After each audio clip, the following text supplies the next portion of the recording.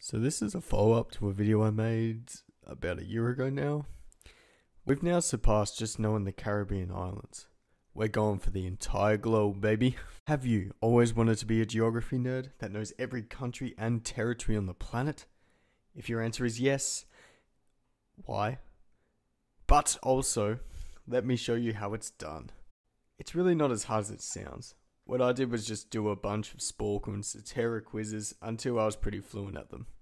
If you are really interested in this, personally, I'd learn Africa and Europe first, as they're the hardest in my opinion. Then move on to Asia, Southeast Asia, North and South America, and then take on the Caribbean islands. And then finally, the Pacific Islands.